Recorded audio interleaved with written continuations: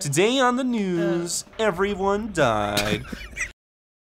Uh, okay, we're we're rolling.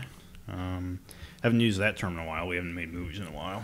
You know, I kind of miss making movies. Me too. Occasionally. It'd be fun to do like a really, really shitty short one. I mean, I, I kind of blame myself because I was doing the bulk of the editing. I, I'm the only person in the group who knew how to use editing software other than Ken, I guess.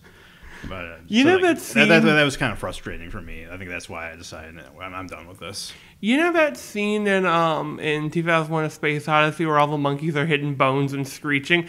Picture that, and then there's a view of an editing software in the little front.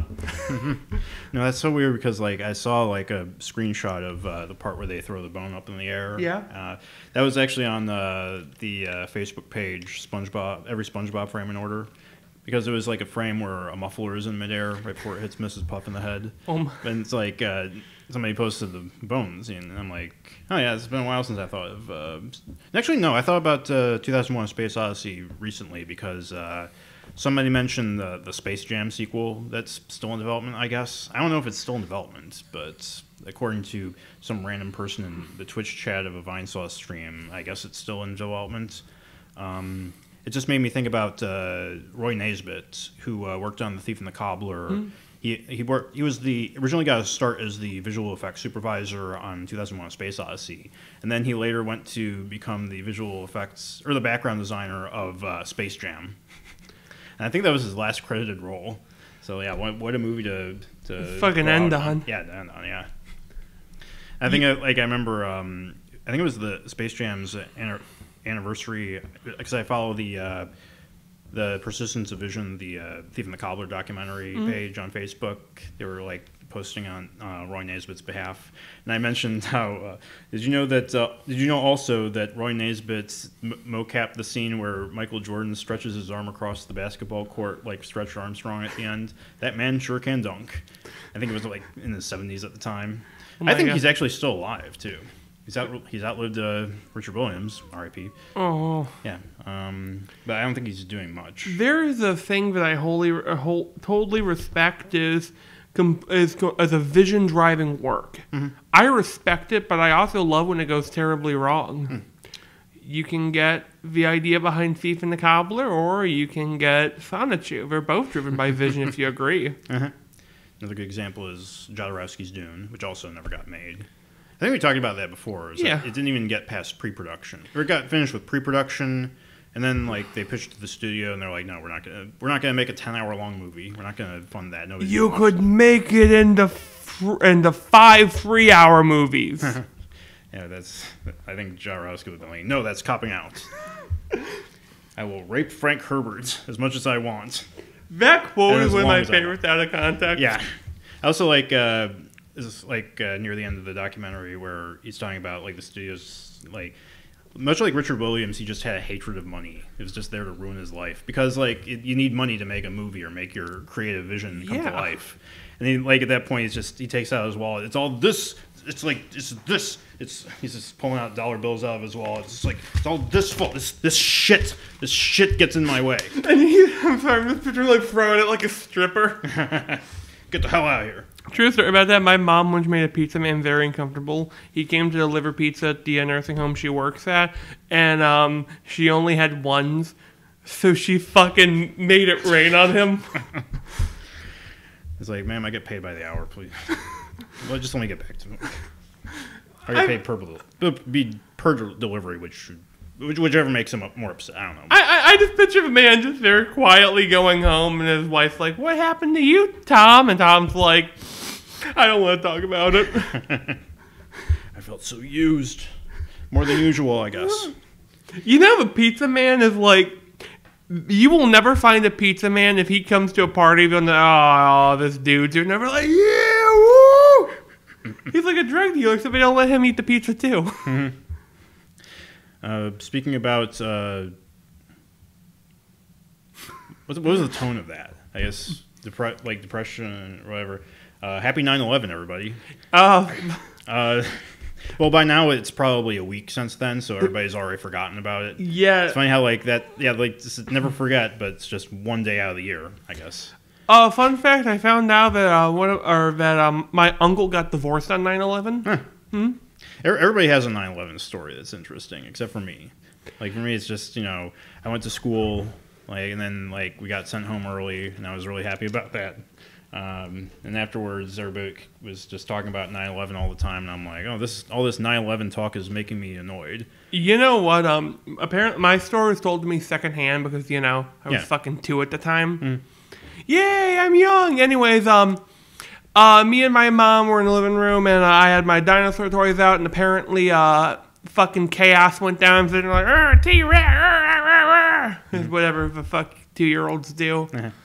Yeah. You know, it makes me think of uh, Christopher Titus, uh, this comedian. I remember one of his specials. Uh, he was talking about uh, when, uh, like, his daughter was born like a week after nine, or like a week, bef- yeah, week after 9-11. and like when it happened, he was he was like, I I just went into the operating room and I just try, kept trying to shove her back into my wife. Like, I can't bring this child into this world. You know what? Um, you know what is kind of interesting about 9/11 stuff. If you watch a lot of media that came out before the twin towers fell, there's a lot of references because they, you know, because the twin towers were the biggest building in the world at the time. In the Godzilla animated series, they had a line, "Oh no, he's playing dominoes with the twin towers," and when you see that out of context, you kind of sit there for a bit. Yeah. And like I remember in the uh, the Godzilla movie, uh, the '97 movie, they were talking about the tw- uh, the World Trade Center bombings, which happened like ten or so years before 9/11 happened. So they were a target by terrorists before then. So it uh, it makes it makes a bit more sense when you have like media referencing the Twin Towers or whatever, Yeah. and also Rem Lezar. Like, have you seen that episode of Red Letter Media? No. It's uh, best of the worst. Um, I won't spoil it for you, but I think the less you know about it going in, the better. I really, you know, I like Best and the Worst, but I really, really like Review. Because, um, Josh and Jack, you know, they're kind of take 'em or leave 'em with main show. I noticed that they're not in, really in uh, like even best of the worst episodes much anymore. Yeah, I think they do better on Review and Half in the Bag. Yeah. Or Review mainly. Like they take films a bit more seriously. They're less about uh, like jokes, I guess. but there was a couple times of, you know who my favorite guy was on there? Remember that dude who was on the one? He was the dude who, um, who was on Spookies, that one? Um, Who looked like a stereotypical creepy uncle? Uh, I don't remember that. Yeah, he was on Best of the Worst. I forget his name. I really liked him, and I don't know what his name is. Yeah, You'll have to send me a link or something later. Yeah. It was the one uh, that also had uh, Action USA, I think, on it. Okay. Yeah. Is that uh, Len Kabasinski? No. Okay, never mind. Yeah, he's he's he's too young to be a creepy weirdo. I mean, he's You know, but there's people who look like the creepy uncle. They're just born with that. yeah. It's something that all men who go bald must deal with. Uh, Now, back to 9/11. um, you make like whenever I think of 9/11, I always think of the uh, Newgrounds Flash games that came out. Uh, like, beat up Osama. Beat up Osama, Hunt down Osama, dress up Osama. I remember there was a one Osama dress up game where if you take off all his clothes, he has like tits that lactate when you click on them, and he has a vagina. Thank you so much, Newground, for your classy, ever topical love. uh I want to go on Newgrounds more often. I know I've talked about like animation, like if I want. There is some really nice art on there. Yeah. Uh, Like what's interesting about it, I think I've talked about this before, but the animation that was made like back in 2000, like the early- early to mid 2000s and beyond, it was all done in Adobe Flash, and because it was all done on, like with uh, vectors instead of uh, rasters, like uh, it all looks like brand new in HD. Uh, because it's, uh, like it's adaptive to displays rather than just being a static image.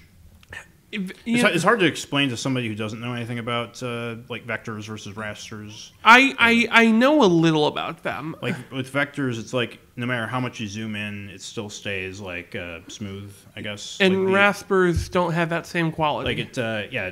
If you zoom in, then you can see the pixels. But with vectors, you can't see the pixels. I think that's why vector art's popular for stock images. I think. Yeah, yeah, that, yeah. If you're making like logos or uh, emojis, then yeah, it's uh, you use vectors. Yeah. Um, y- you know, it's interesting how events like 9/11 and column. I mean, yeah, like 9/11 it certainly changed uh, how destruction is depicted in uh, in movies. Like the Avengers, I think about the end of Avengers and how they show like the memorials and like how like the weight of like all the destruction, like the after effects. Even if that never happened, it would have just been them reveling in chaos. Yeah, like uh, you think about that compared to Independence Day, and Independence Day they reflect on that a bit, a bit, but they did. They, it wasn't uh, like super somber. It was like it was kind of like more uh, post-apocalyptic in the way that Mad Max is post-apocalyptic. You know, I've never got into Independence Day. Yeah, I mean it's a guilty pleasure of mine. I think. Like, it, if there is one thing I respect about it, it's part of my favorite subgenre of uh, fiction, uh, sci-fi, though. I call it humanity. Fuck yeah. It's where it's like, you know, we've got these alien warrior race, sending the humans. Warhammer 40k, for example. Another one is uh, probably Dune, um, because I think that's one of the big plot points with the uh, Gom Jabbar is that uh, it's a test to see if a creature is human or not, and that like I guess humans are like the dominant species in the universe, and that's why like they're so revered. I don't know. I I don't know much about like the actual Dune books or lore or whatever, but I think that's how it works. I, you know, it's also, humans are really adaptable. That's like our great feat. Yeah. I mean, uh, Lord of the Rings, uh, going outside of sci-fi. Yeah. Um, an even better one is, if you think about it, most American comic book companies. Only humans get that gene that's like, yeah, I got the X gene, I got the quirks. You don't see a chimpanzee with a quirk, do you? I mean, it depends on where you look, I guess. Oh. I mean, you look at uh, DC Comics, like you got all the gorilla, like Gorilla City, kind of like that. And that's why they. I wonder if in the DC universe, if gorilla poaching has gone up or down because of that. Yeah, like I would like to see comics that pose more like interesting questions like that, just like the tiny little subtleties here and there. Like, if you, like, um, I mean, subtle for giant gorilla sake, I guess. Yeah. You don't talk shit about monkeys on the Monkey Bar podcast. um, yeah. You know what? One thing I also really remember is how 9/11 played into the major plot of Metal Gear Rising. Oh yeah, like they cut uh, they cut most of the uh, end cutscene for that. I remember because like there was a cutscene that they either storyboarded or like were in the rough stages of animating where uh, Arsenal Gear crashes into Manhattan and then topples over a ton of buildings or something. And there's like it's all like shot from like a news uh, camera pers- pers- perspective. I would have honestly kind of liked that. Yeah, I would have liked to see. It would have been a- like Metal Gear 2's ending. Uh, okay, I, I, I'm not familiar with that. Um, in Metal Gear, no, Metal Gear Solid 2: Sons of Liberty. oh, that's uh, what I'm talking about. Oh, where Raiden fights uh, the guy with robot arms on top Yeah, of the building. yeah. Oh, Arsenal Gear. Mm-hmm. I got him mixed up with the one that General Armstrong rode. Okay, Metal Gear Excelsus is the one he rode. okay. Yeah. Holy shit! Yeah. And also, uh, I think uh, with uh, Grand Theft Auto 3, there was some cut content. Like, there were supposed to be airplanes, and they cut those out. There is one airplane that you can find, but it perform like it's, it's. I think it's intentionally programmed to perform extremely poorly. You can barely keep it up in the air for very long, and I think it's hidden pretty well too. It's still a cool Easter. I like Easter eggs like that. Mm-hmm. Man, um, And now uh, Rockstar just tries to hide uh, gambling mechanics in their game, or like they're just doing the most minimal effort now, I guess. Surprise mechanics. Hey, this is really off topic, but you know Soul Calibur games? Mm-hmm. I only recently learned that the guy who voices Astaroth in the second game is not him in any of the other games, and I only realized that when I listen to a cl- in the newer games, he's like, you know, I'm Astaroth, I want to kill someone. Then you get a Soul Calibur 2, like, massacre, and he's like really, really intimidating Hmm. to the point that I looked up his voice actor to see if he was still alive and also doing work. Turns out he does radio jingles now.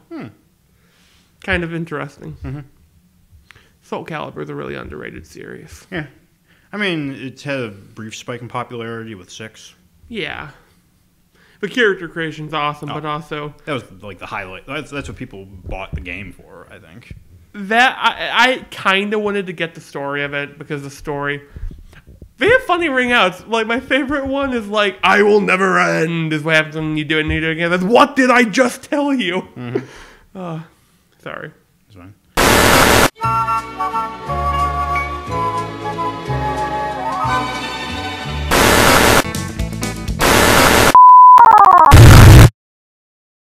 I want to be that passionate where I'm able to like just sit down for like 12 hours a day and uh, crank out like a minute of animation per day. Whoa, look at that! 12 hours! You can see his hair move in the wind! Yeah. Uh, one of the artists I follow on Twitter, at Bokuman. Uh, I don't know if I've shown you him. Uh, he's the guy who does the uh, waifu casting couch uh, collection. No. Uh, no, I'm gonna pull it up real quick um, because I really like his artwork. Um, he does uh, really good uh, shapes and uh, just he, he captures these uh, characters really well. Um, I'm, I'm definitely not gonna be able to show this on uh, YouTube when I uh, upload this video, but um, God, where is it? An- Anyway, he like he actually did an interview with a. I don't, I don't even know what kind of. I guess a hentai sites or whatever hentai news, if that is a thing. I didn't really look at the. Uh, In other news, Shadman posts new controversial piece. but um, yeah, he uh, here's here's his most recent one of uh, King of, one of the King of Fighters characters. oh, I know that. Uh, that's Mai Shiranui. Yeah, I hate that I know that character. yeah. I mean, uh, people are looking into the characters now that uh, Terry Bogard is in Smash. It's a playable character? Yeah. Oh, fuck, I didn't know that. But yeah, Bokuman's put out like uh, probably more than hundred of these at this point, and uh, he does like one every day, which I find astonishing. Do you think he does a lot of work in progresses and then slowly? Oh yeah. Uh, actually, no. I've seen him. I've seen one of his streams, and he does like he, he did like two from scratch over the span of like two hours, and like that is just like yeah, That's front, fucking mind boggling to me. yeah, front to back finished, and like both of them completely finished in two hours, and it was just, Even different backgrounds? uh no, the same background. Oh, still, but Um, that's still impressive. The character itself, of that quality of detail, Absolutely. that fidelity. Yeah. Um, really, I hope to be at that level someday, and I'm, and even if I am, even the day I do get there, I still won't be satisfied with it at all. I actually know- was, I was watching the uh, one of the DVDs I picked out from uh, the library. It was about uh, independent comics. It's about like an hour long, and uh, I only watched like uh, ten or fifteen minutes of it because I just wanted to make comics like really bad while I was watching the whole thing. But they made a point that you know, like you're never going to be satisfied with your work. Stop comparing your work to other people, which is stuff that I've heard before, time and again. But it's it, when it's really laid out like that, then then it strikes a chord because, um, like once you actually hear it from people who are in the industry, I think that that uh, strikes a different chord than just like hearing about it or hearing from people who've heard it from people. It uh, From mouth of God is the best way to hear it. yeah, that- yeah, that's a good way to put it. Um, but yeah, I think that uh, I need to like crank that mindset into my brain. Just, I wish I was more obsessed with uh, creating my stuff. Here's what's weird with me. I cannot get these worlds out of my fucking head. I cannot put them on paper. Mm-hmm. I, I, I call it wrangling because I have I I have to wrangle my writing. Mm-hmm. Yeah, I know that um, I was reading through the Animator Survival Guide, and Richard Williams was talking about a colleague of his who uh, would just uh, meditate and think, put put put put away time like for like an entire week, and just think about what uh, he wants to do. Think about it, and just drill that into his head. And then when he finally sits down to draw, it would just explode, and he was just like like crank it out over the course of like six hours. And you have like a three minute um, animation done from all that uh, creative energy built up in his head. I want to try that. Yeah. Well, according to Richard Williams, it was uh, like for him, there was no difference between that and uh, just doing it, just sitting down and doing it. And I guess it depends on. I want to say it depends on the person. It might be. It might be that. It might be. You know. It, it might also be interchangeable. I don't know.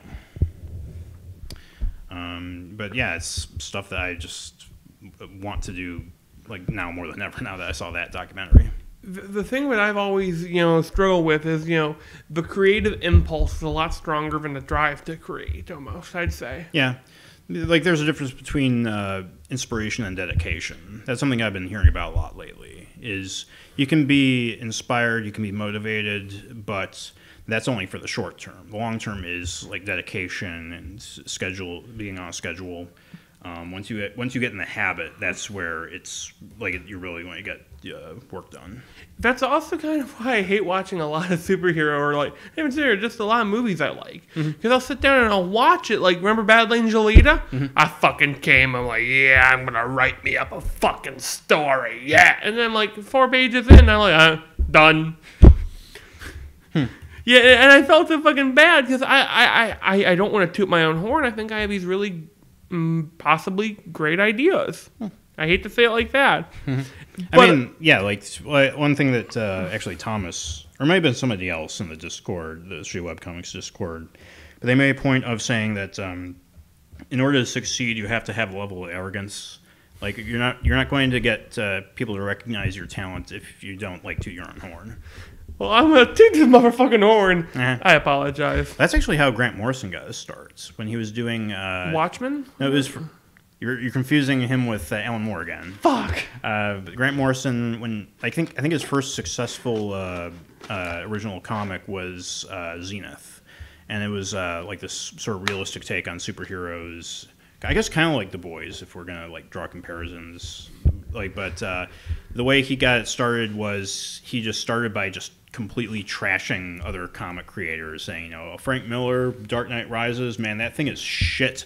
Uh, Watchmen, total shit, total garbage, compared to our comic, which is superior in every single way to those, to like to those hack frauds. Like, not, like, I'm paraphrasing, obviously. But yeah, but like, Uh, you gotta have like a certain level of just like, oh, I'm this. This is how good. This is how good I am. you have to have ego in a way. Yeah. Like otherwise, like you're just gonna be a wallflower. Yeah, you know, that's something I fucking need to work on, believe it or not. I, I think most uh, comic creators are like that. Like they're very solitary. They're very withdrawn. Um, it's a habit that I've just sort of gotten over just by being angry at everything all the time. Tap into the retard. Yeah, yeah. I mean, that's the theme of uh, that uh, comic is just somebody who's so angry that it just like You have to have a character that has a that's like I apologize for interrupting. Who like maybe retard thinks he's angry, but he goes like you're not even pissed yet. Why? And he goes on this long motherfucking rant and throws him back in the retard for round two. Uh-huh. I, I had this uh, set piece in mind where he's fighting against uh, his first uh, other mech, mech opponent, Hmm. and it gets to the climax where they both like shoot the beams at each other and they clash, Yeah. and then she goes ah, and then the title card three hours later, and then they're still going, and it's just they're just in the puck cockpits like super bored, just like oh god, when's this gonna end? The guy pulled a fucking phone. yeah. This is like I, I feel like that's gonna be pretty funny when it. I have a question. Will there be a row robot that shoots lasers out of its dick? I, I'll have to write that down. Call it the Lancer or some dumb shit like that. Oh yeah, like each uh, each uh, robot will have its own dex- designation. Like the main one is obviously retard. Uh, there's like one that's like a like some other designs I have in my head, but I haven't written down yet. So I'm gonna do that after we re- finish recording. I I also hope that they add mutants in this, like giant kaiju like monsters. I, I think that that might be able to. I might be able to fit that in, depending. I mean, I'm pretty still pretty early on in uh, developing the story. It even has like a different ending than what I originally had. When He, I doesn't- he doesn't go supernova. Uh, like, what do you mean? Or I'm sorry, I vaguely remember you saying like, didn't he go like super super mad or some shit like that? Uh, like that's at the beginning where Oh. it breaks out for the first time. Um, like, but the ending, uh, from what I, like I think I first saw this like half a year ago was like it had a different ending now than it. I don't know. Like I said, when it's this early on in development, it's hard to like pin down exactly how it's going to go. But I think I have a better like concrete vision of this. I want to get it done like fairly quickly because I, I know I have the Yesterday Kids to work on, and like before I switched to that, I had Cat Kid, which I now put on the shelf. And Cat Kid, by the time I get to that, it might be like ninety percent different after because like the Yesterday Kids is going to be like a really long term project. It might take me like probably almost a decade to finish that from what I have right now. You know, I I understand the pain you're going through of just fucking switching stores like a goddamn roulette table.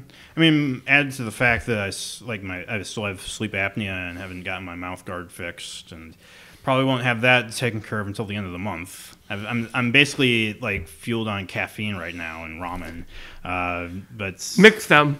What you do is you oh, that's gonna a- taste terrible. Like I have the five hour energy and just like mixing all that fruity flavor. No, with- what you do is you break up the you break up the noodles and you just pour five hour energy of the water to broth. I mean, if I'm gonna go through all that effort, I may as well just go on meth. Join the fucking family. I found uh, part of my. I'm gonna be in the in the Arizona desert uh, burying corpses and uh, like I mean I'm and while to you're out in Arizona, you'll encounter a Star Wars Fatty's friend, make, oh, airsoft fatty. Airsoft Fatty. That would be in Michigan, which probably No, actually did your is. friend say that the crazy one said he? Oh yeah, yeah. You just hear like, you know, the fucking like, is this the power of a rival stand? he buried him with a lightsaber in his hand. yeah, that's what he stabbed him with. It was like he actually killed Darth Maul's actor. He just cut him in half. God, I gotta watch that again. That, it was such an interesting uh, it's snapshot. almost an ethnographic documentary in a way. yeah. I don't know if I asked, but how much did you like personally identify with it?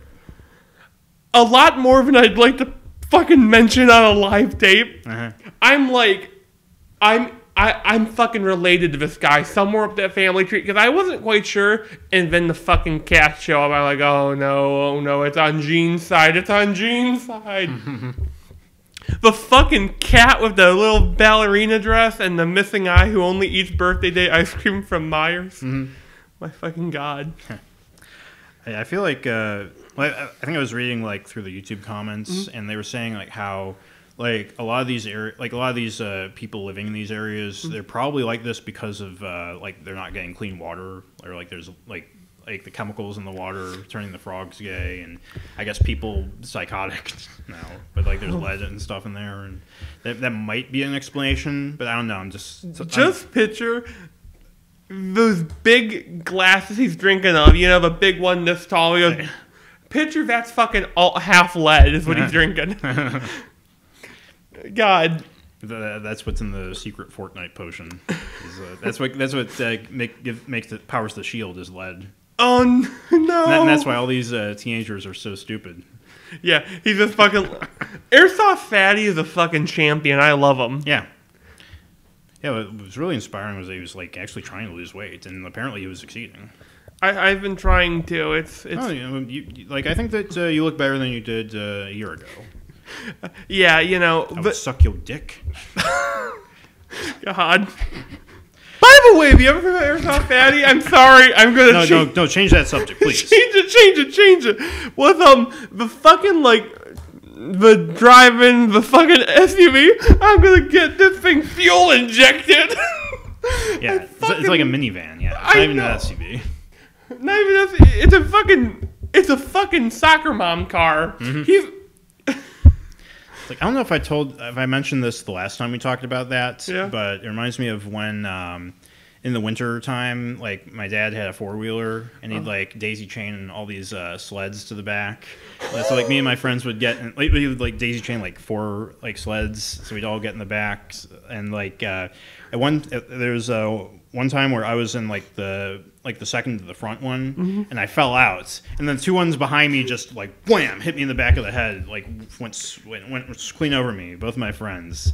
And I was like just laying there and I was about to cry and then I just like held it back. But like and it's it's like and you stood up and you went hit me again. yeah basically because and it was like probably the one of the proudest moments of my life because like i was like kind of a crybaby when i was a kid. I just cried over everything.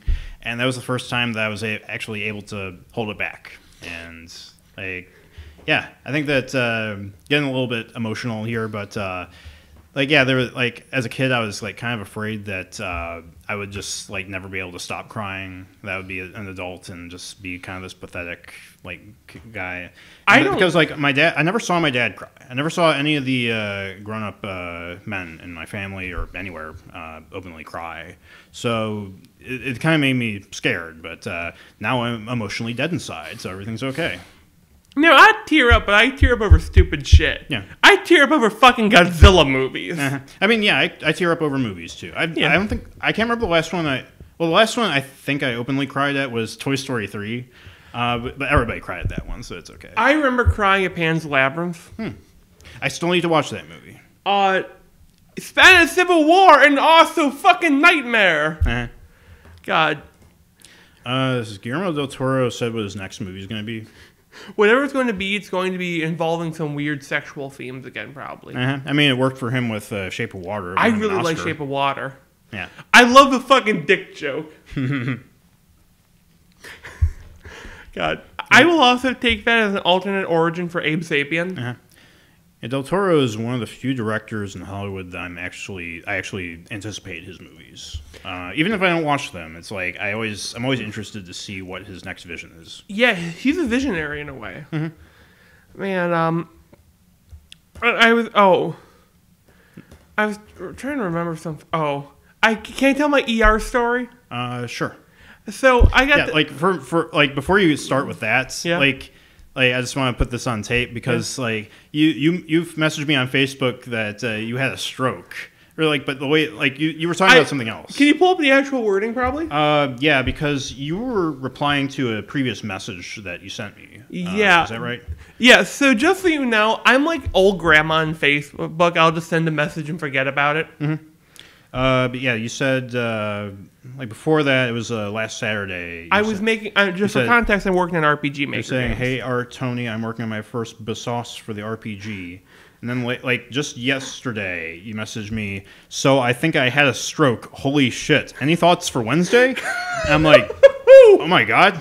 Like, I- I'm like, you know, I, I don't. I'll see if I can take notes. But if you're not okay, don't he- don't hesitate to call off. But you you managed to clarify, saying, you know, oh no, I, I meant like a stroke over my last match. I'm like, oh, thank fucking Christ. Yeah. Because I know that uh, what made me think about that was that you know Rick had Yeah. a stroke. He had two strokes last year.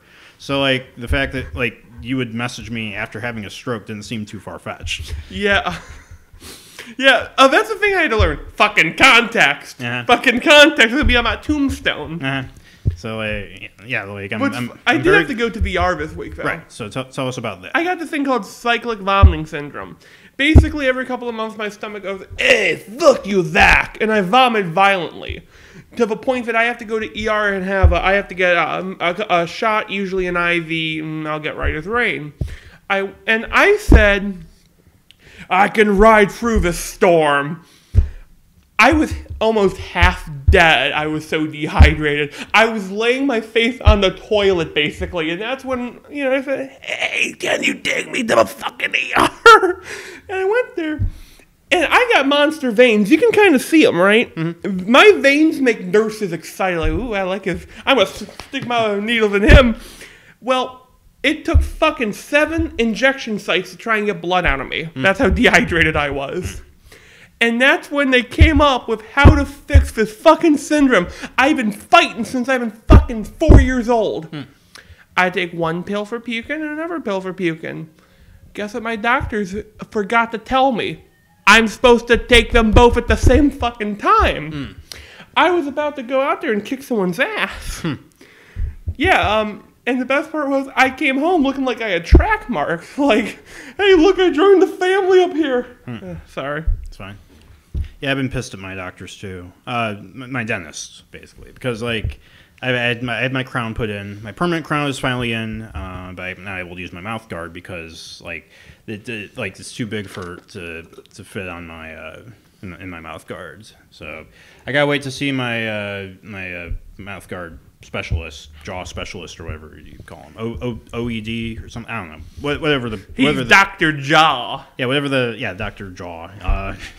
That's a nice, uh, that's a neat uh, idea for like a Bond villain or something. Dr. John. He's like, why do they call him that? And he, you see, I lost my jaw, so I cut off this man's jaw and stitched it on here. and his whole uh, scam is that he's had one of his hitmen sew on another guy's eye so they can use retinal scans. Or no, he's just a normal guy and he has a really nice jaw. Yeah. Jaw that can cut glass. Eh, I tend to go for more outlandish villains. That's my issue. yeah, Like you like Bond, I like like Doctor Doom, Yeah. like the, the that type of uh, villain. It's I don't know why. I, I just love the idea of I am Eastern European sorcerer, dictator, and mad scientist.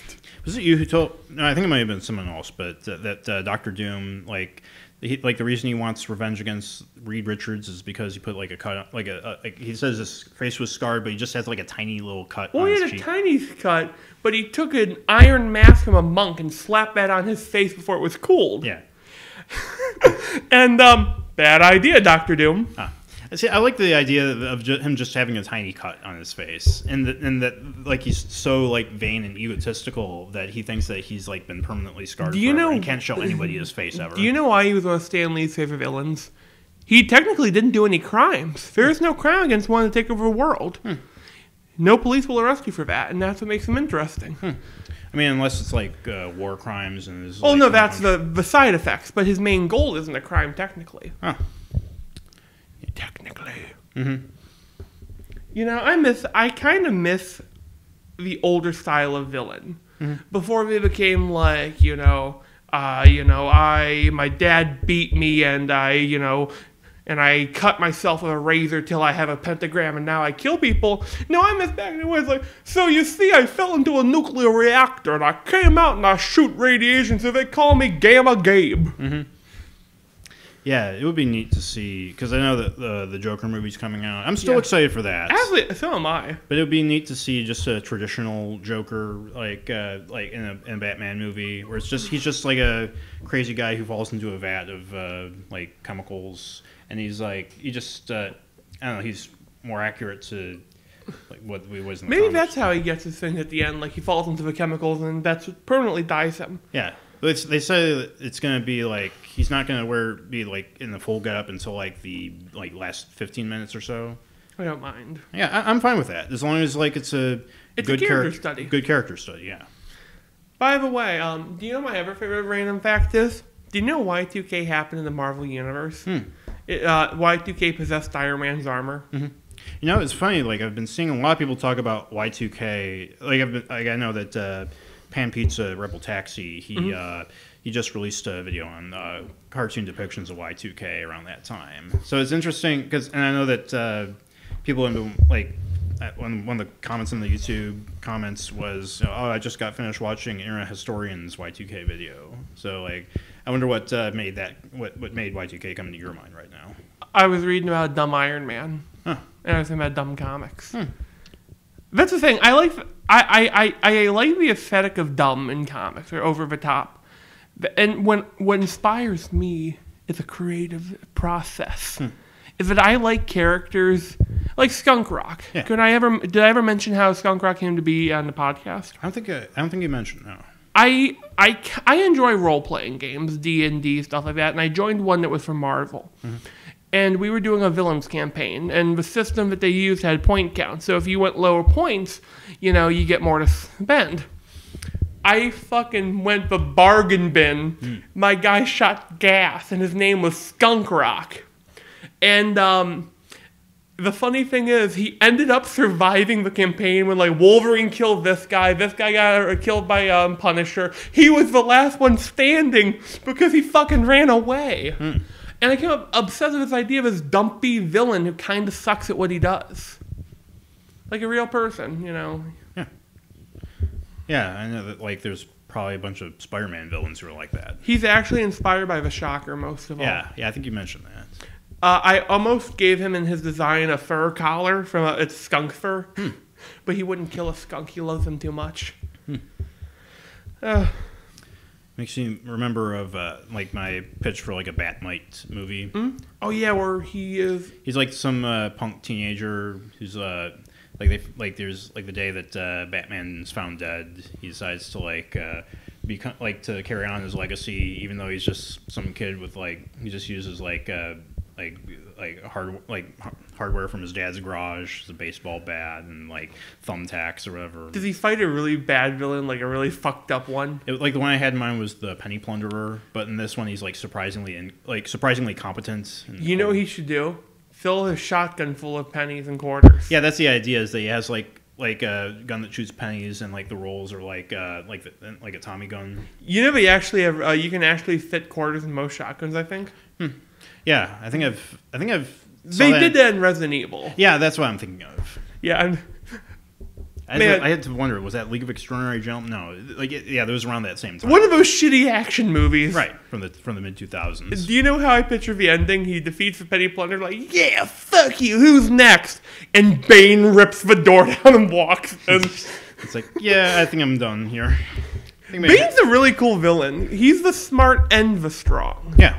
Oh, yeah, I'm not that from. I'm more familiar with him from the Dark Knight Rises than the, in the comics. I know Well, I'm. I'm familiar with him from the animated series. I know him a lot from the Arkham games, yeah, where they really played up him being Hispanic. um, I remember his portrayal in Batman Beyond. That was like pretty harrowing. Like, Where was the old man. Yeah, he's the old man in the wheelchair. He like none of his muscles work because uh, like Venom just took a toll on his body. Does he advocate against Venom? Uh, I th- I can't remember his role in that episode. Like the episode was sort of about like the like the school sports team. Like like some of them are like using slappers, which is like a patch version of uh, Venom. So like Terry uh, Batman, he has to like track down the like the uh, warehouse where like it's all being manufactured. Yeah, I had the idea of in like my Skunk Rock universe that there's a drug that can make superpowers stronger. It accentuates those genetic Hmm. materials. Well, that's actually a plot point in The Boys. My idea. Oh fuck. My idea. I know you love it when you know, like popular media My tw- does ideas that you've thought of just recently. twist on it though is the side effect isn't like, oh no, I shoot fire now I'm on fire. It's more like you overexert the power and it never comes back, hmm. and it becomes this big point where some heroes will go, do I take this you know thing so I can beat down this monster and lose my power afterwards? Is hmm. the whole idea. Mm-hmm. You know. Yeah, I mean, there's been like I think in pr- basically every superhero Comic, comic, they they have something like that. But uh, yeah, I mean, if, as long as you do your own unique take on it. Did you know that uh, in the Spider-Man comics, when he was a wrestler, he may have possibly fought the, uh, the Thing and a couple other hero wrestlers? I know there's one. There's a character named Demol- uh, Dem- Demolition Man who is my favorite Marvel uh, hero because he fucking wears an he wears the old Daredevil outfit and just beats the fuck out of people. That's his power is beating the fuck out of you. Uh, Yeah, I haven't watched the rest of the uh, Daredevil Netflix show. I might want to do that before it gets taken off and put on Disney Plus, like every other show in the near future. You know, I'm wor- I kind of want to get Disney Plus because I want to see the new Marvel shit. Yeah, like I might get it for like a month and then just cancel it. Like, the issue is that I don't like subscription services, but I really kind of like Marvel. It's the issue. yeah. Plot twist: This is actually an ad for Disney Plus. Like this is the like this is the like the most like limp-handed. Just like uh, I guess I guess if you want to subscribe to it, then go ahead. This is brought to you by Disney Plus.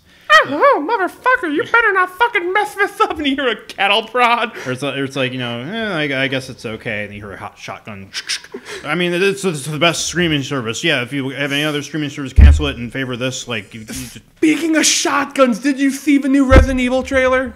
No, I didn't. They're making a game called Re- uh, Project Resistance. I apologize. I just had an aneurysm because I believe I can't believe I forgot it. Oh, I thought you were talking about a new Resident Evil movie. I'm like, Jesus Christ, are they are they really doing that? No, fucking Resident Evil movies are. I, I. It's an insult to retarded to call them retarded. Basically, it's a game where there's four people. They, they play as you know, like four survivors. Mm-hmm. One person controls monster spawns doors and can play as Mister X. Apparently, that's what the trailer implies. Hmm. It's going to be therapy because Mr. X will fuck you up, and now mm-hmm. you get to fuck people up as him. Hmm. And possibly Wesker's in it. Hmm. I mean, he, of course. Possibly. He, he's been dead since five, and they haven't really teased him since. Huh. Was was he in six?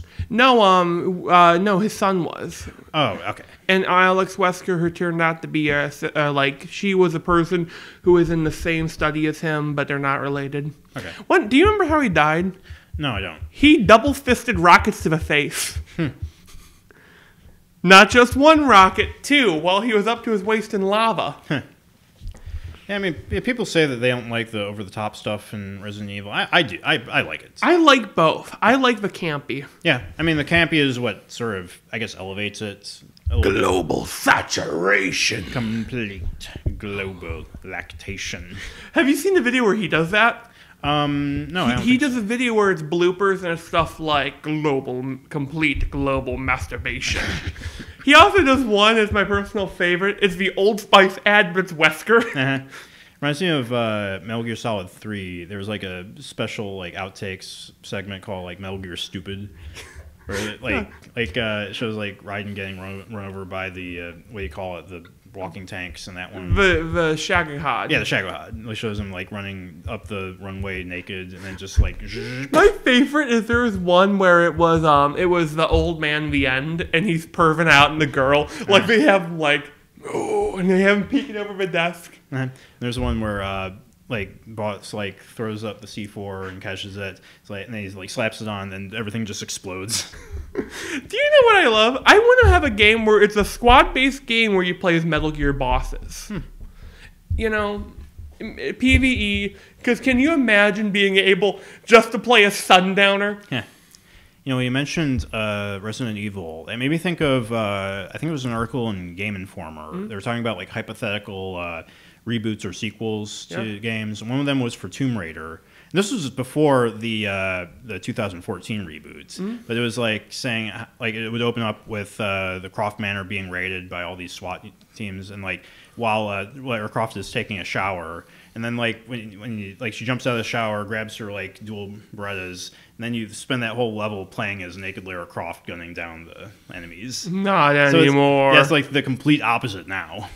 But yeah, if they did like if they do the inevitable reboot, I would be all for. Uh, You know what I want for a reboot? Dino Crisis on the RE Engine.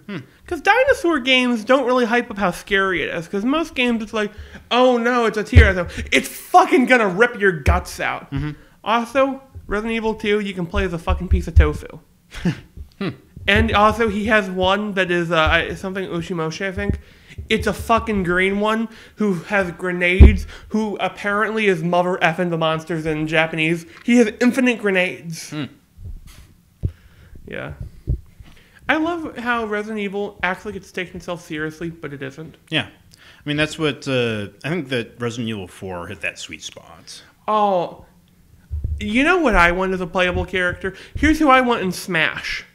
I want the the merchant from Resident Evil 4 is playable in Smash, and his attacks are every weapon in Resident Evil ever. Like he pulls out the ma- the, the magnums, he'll flip back with the flamethrowers. Then the final smash would be the uh, Plaga laser. No, you're at the final. It's, that's actually a really fucking great one. My idea for Final Smash: he summons the the uh, the fucking um giant boss, and he just fucking tears that stage up. Uh-huh.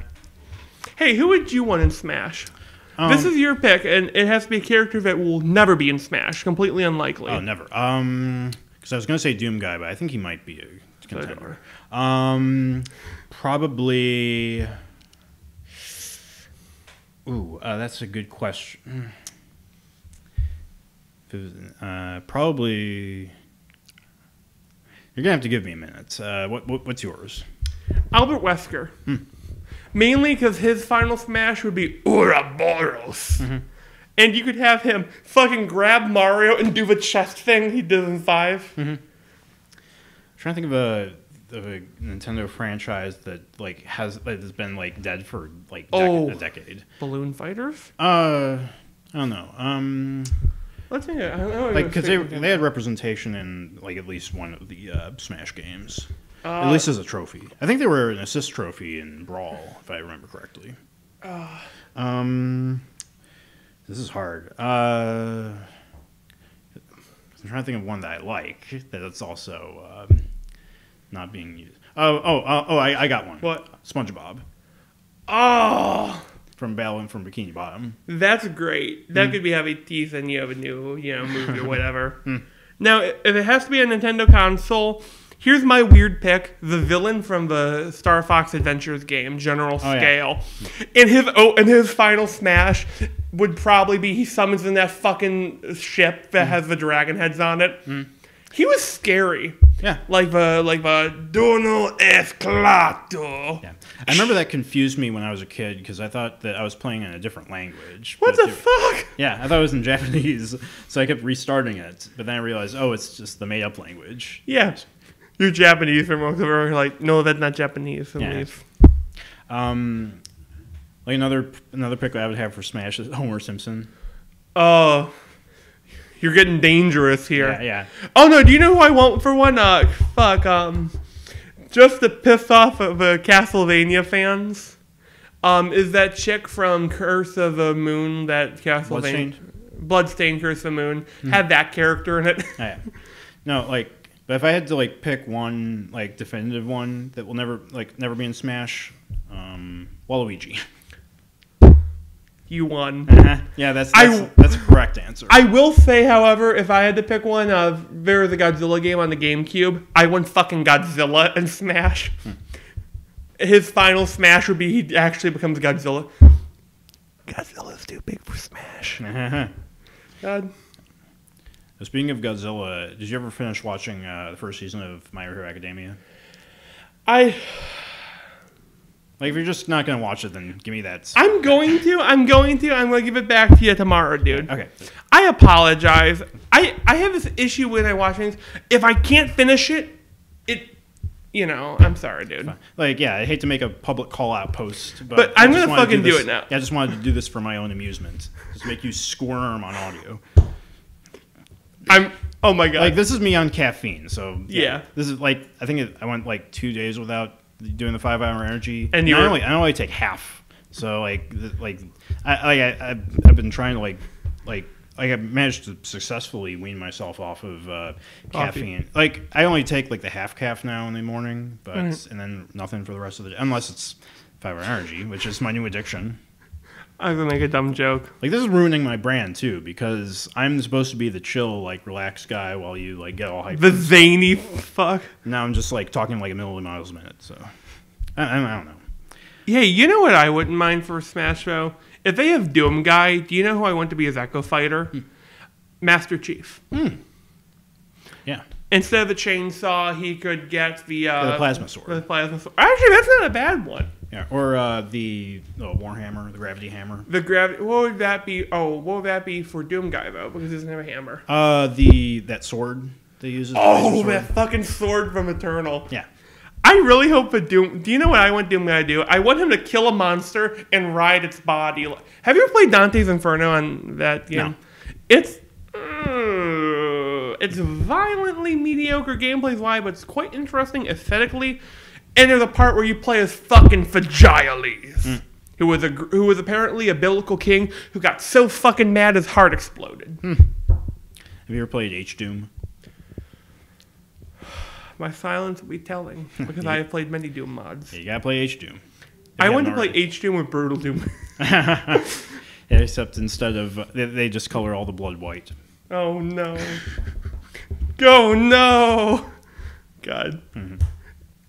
Remember that like the fucking Patreon game? Like they had that fucking Monster Girl game, the Breeding Season one, that was raking in thousands of dollars a month. Oh yeah. Uh, Did you ever hear what happened to it? No.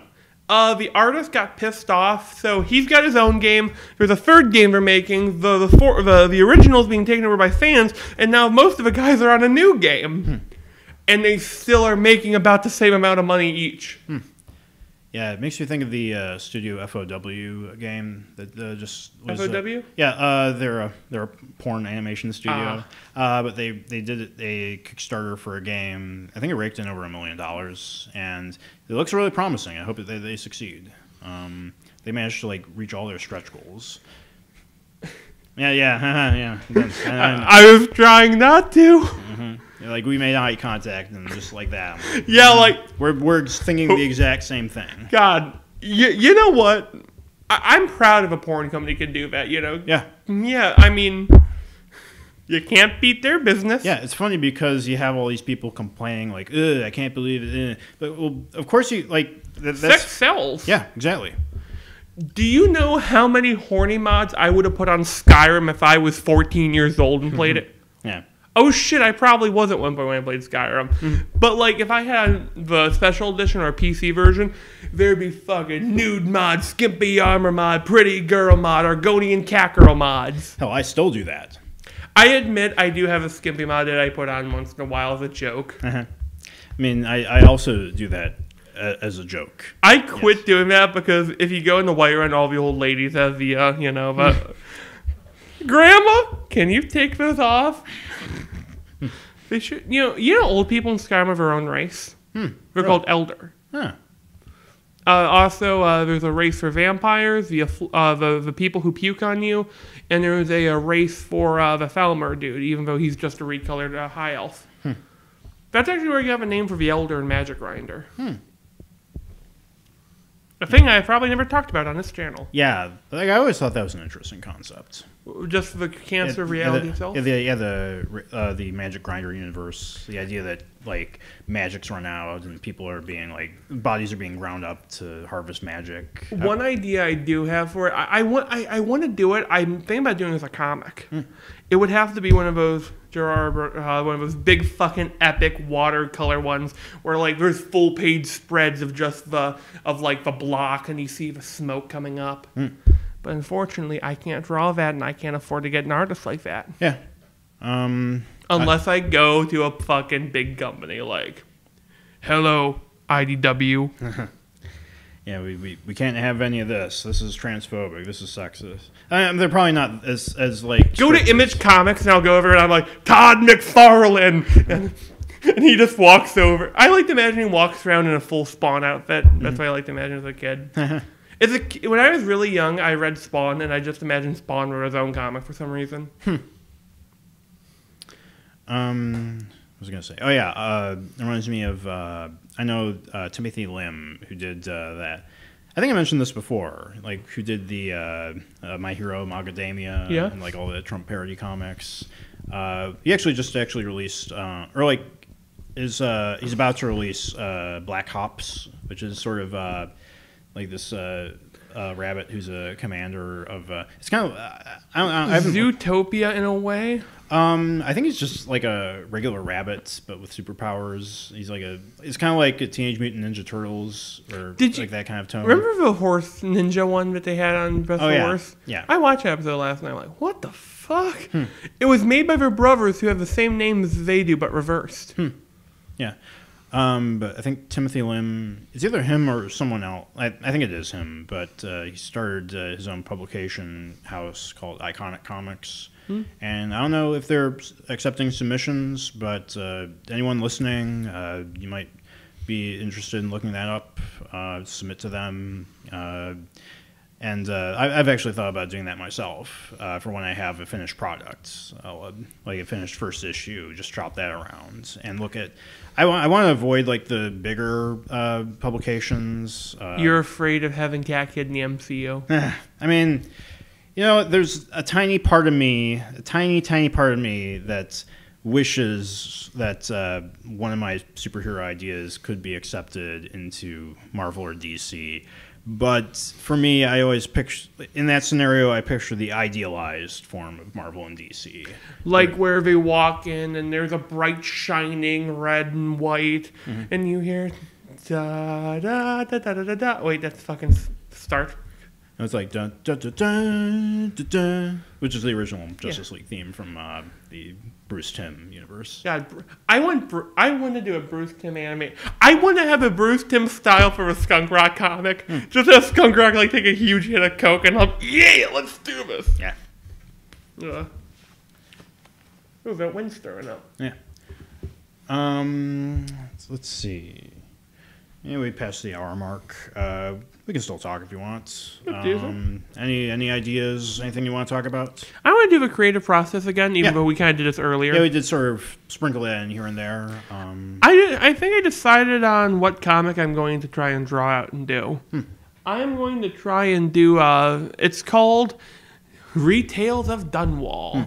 Imagine Walmart. Imagine a Walmart in the shitty small town you live in. If you live in a shitty small town, but it's built over a gigantic breach in reality, and horrible demons called meta demons come out and devour reality and want to destroy the whole world. And the only two people who can stop it are a big Swedish guy and a dude named Sean who thought that cabbage or cribbage was a kind of vegetable for most of his young adult life. and that was my narrator voice. like, do you have an idea of like how many issues it's going to be? Uh, the first one's gonna be six issues, um, and there there's six different stories, sort of. Uh, and the whole theme is it's over his first or um, uh, his first year working at Dunwall's, Dunwall department stores. Yeah, because like from what you've been bringing in, I feel like it could be like a pretty self-contained six issues. Yeah. Like, uh, and I think that this is probably like the one that uh, I, I consider to be the most likely to that you're going to be able to finish on a like that actually finish. Yeah. And, like I hate to bust your balls over this, but Or Skunk Rock, yeah. yeah, I mean this this seems more self-contained than something like Skunk Rock, Yeah. which takes place in a larger universe with Orca and like all this other crap. I hate doing that, but like I'm a world builder. That's my hobby. I mean, me too. Uh, I've been trying, like, and I feel like the older you'll get, you'll be at m- my level. I, like, me tooting my Dude, own horn. again. yeah, I completely agree. You're sort of a mentor figure in the whole comic angle. Well, I will agree with you on that. Um, but- Except you get cut in half and you get robot chicken legs because that's what fucking the animated co- cartoon will do to you in this continuity. sure, I'll, I'll, I'll take that. Um, but yeah, like I mentioned before, the comic project I'm working on right now is Retard Control. I, I have to like sort of emphasize the AE and uh, because like I like it's hard to say, it's surprisingly hard to say. It's, it makes you sound pretentious, which is probably the right angle to go for with with this one, just to make it as obnoxious as possible. if there's a, if there's a character calling me, he's like, "You're a ray turd." Yeah, yeah, you can say it any way you want. Does is his beam called the the, the retard ray? Uh, I'll have to think about something more clever than that. Yeah. Um, but yeah, I've I, I feel like this is a good one to roll with right now. It's sort of like a good medium between something like uh, Yesterday Kids, which is very has more strict world building and characters, versus something like Mel Murray, which is just all over the place. Anything that crosses my con- subconscious, just throw it in there. That's a thing with Dunwall that's important, and this is something that I might stress: is that each issue is its own separate universe in a way. So that's how I could say retcon something very easily, Yeah. Um, or some shit like that. yeah, kind of like The Simpsons. Yeah, Yeah, they do that. Yeah. um, real, each episode is its own universe. Well, people like to think that Oh. because, like, The Simpsons has a rolling timeline where it's like, you know, it's like season eight had Marge and Homer meeting in the 1970s, but season 18 has them first meeting in the 90s. Because you know you have to like keep your character's age accurate To the audience. to the current current year and the audience and everything. So you have to like fudge the fudge the timeline, fudge parts of the universe. Can't you wait till Homer and uh, and Homer and uh, what the fuck? I forgot her name. I for- Marge. what the fuck? I apologize. That may have been a stroke. but if Homer and Marge met in the 2010s, yeah, hey, you like my SoundCloud page? Yeah, it's gonna be in the 2030s. They'll do that, and then like that that'll be around the time all the character voices are done by like computer software. like fucking Robot Jones. Uh-huh. Yeah. Hello, Marge. It's me, Homer. Then- Homer, it's time we need to take the kids to school. And then, and then, like it just, and then, like they'll do a live episode, and they'll just be glitching out. Homer starts saying, he starts going, all work and no play makes Dan Castanella a dull boy. Yeah. oh, wait, they already fucking did that joke. Oh yeah, yeah. One of the best Treehouse of Horror episodes. I like the Treehouse of Horrors. I will watch them over an average episode, to be honest. Yeah, that's another example of uh, like, like more accurate example of uh, each episode taking place in its own universe. Yeah. I I also like the opening skits they do. Oh, yeah. Um, I've been meaning to go back and watch. Uh, class. I, I hate to take my fo- the focus away from my own project and Yeah. talk about the Simpsons, but It's fine. The Simpsons, damn it, classic Simpsons for that matter. You know, Like I've been meaning to go back and watch uh, stuff like Who Shot Mr. Burns, uh, some of the like real classics. I, I, I, I've always, I liked Family Guy's earlier episodes more, but I really like the, the dynamic between the Simpsons family. Yeah. Yeah, I, I agree. um, but yeah, the, the current project I'm working on is the uh, funny robots blow blow shit up comic that I, I'll be able to do. Like yeah, because I think about uh, staging for one, where uh, something like Yesterday Kids needs more like concrete uh, technology stuff, which is one one of the reasons I deliberately went with the uh, giant robot having like stretchy limbs and being able to stretch all over the place. I like the mouth and the chest. yeah, it's sort of inspired by Gurren Lagann. I have a question. C- can it, uh, will there be like a tiki torch, or like a tiki one? That'd be a good idea. Yeah. Oh my god, he has to fight the regional variants. It's like fucking Gundam. Oh, yeah. And the African one arrives. it's just got a black plant paint and red around its No, mouth. no, you know what, the, it should be though? It should be like a fucking like. Oh, that actually not that. Make it like an African mask almost. Hmm. What's its attack? It's called the laser spear. Yeah. Thing is, if I want to go offensive, I might want to just go all the way. God, you know what fucking bugs me? That the like- fucking African Gundam in the show had a fucking zebra pelt on it. What the fuck? How big was that fucking zebra that they killed? Did they kill like a hundred and stitch them together? Mm-hmm. I'm gonna have to start thinking about like if I want to make something that's made to offend people or made to push the envelope. You have to make a. Uh, uh, uh, would recommend a persona. Yeah, yeah. I mean, I mean that's a that's one option. I don't know. Like I'll have to think about that, just because you know. I, I don't know. I, I I don't really give a shit, but I guess for the sake of protecting my family or whatever, it's like that might be a good idea. And also, like I don't know, it's You- a um one option I had for like distribution because I like uh, Webtoon obviously isn't an option. I think they're strict with uh, what content you put on there. Like like I'm thinking about like sites that would actually even allow the title for that matter. Uh, I heard actually the Itch.io. I saw the Itch.io is actually uh, that you can publish plat- uh, publish comics on that. I Itchy is a really good platform so Yeah, far. you can, apparently you can publish anything uh, like any medium at least. Because I thought it was only for games, but I saw no, you can do like art, you can do yeah art books or comics, or software, software, visual novels, regular novels, even porn. Uh-huh. No, yeah, obviously, that's what the internet's made for. I fucking love that musical. I remember the uh, the World of Warcraft version of that. You know what I know more? The Foster's Home of Imaginary Friends version. God, Hmm. Yeah. Home was good. What was the babysitter's name? Uh, Frankie. Frankie. I like Frankie. I mean, yeah, Zone in particular likes Frankie.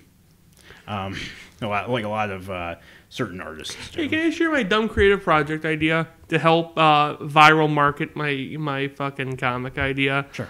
I'm gonna make something that looks like it's an NES game in appearance and graphics, and that's like the Monster Manual of the Dunwall universe.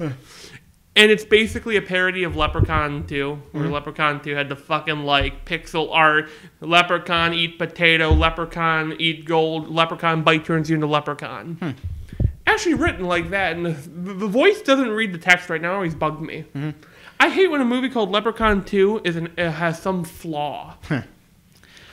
Um, it made me think of uh, this because I, I uh, one of the other comic documentaries I watched was on the uh, uh, 24 hour comic challenge, and one of the people speaking, one of the people being interviewed in that was uh, the creator of Boilerplates. I don't know if you're familiar with this, but it's Name has me interested. Yeah, Boilerplate. It was this uh, art project made by this guy. Was, he was originally going to make it into a comic, but he built this uh, like little figurine, uh, like this basically steampunk robot.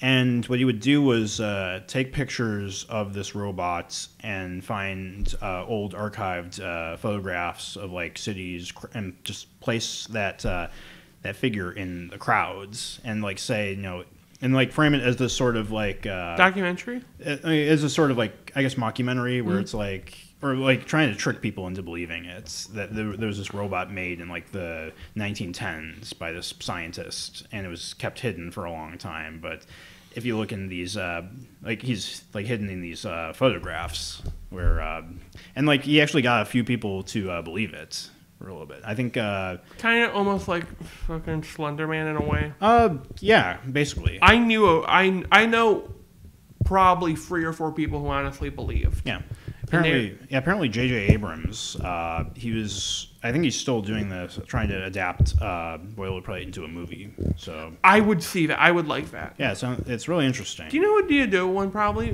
Guillermo del Toro would Yeah. probably do. A good Oh, yeah. Because he really likes the archaic art form. Yeah, and robots, obviously. Yeah. Um, I think that uh, we can wrap up now. All right. Um, I- I never really know how what to say to wrap these things up, other than I've been Tony, I've been Zach. and this has been the Monkey Bar.